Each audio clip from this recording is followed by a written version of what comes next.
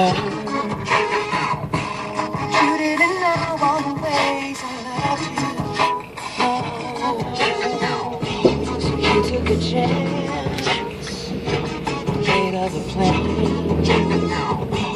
I bet you didn't think that they would come crashing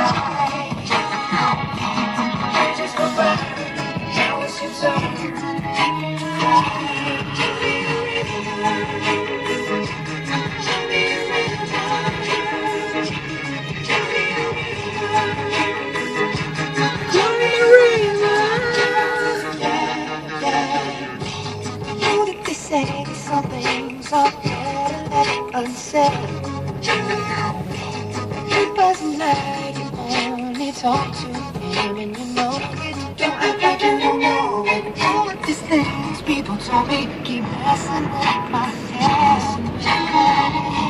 Should've done honesty, and you may not have known?